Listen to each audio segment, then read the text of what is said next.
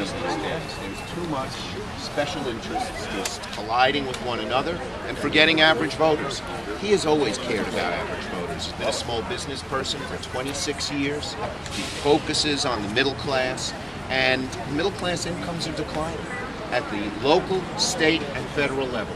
We have to get the middle class back on top of things. He's the guy to do it, and he's the guy to clean up Albany.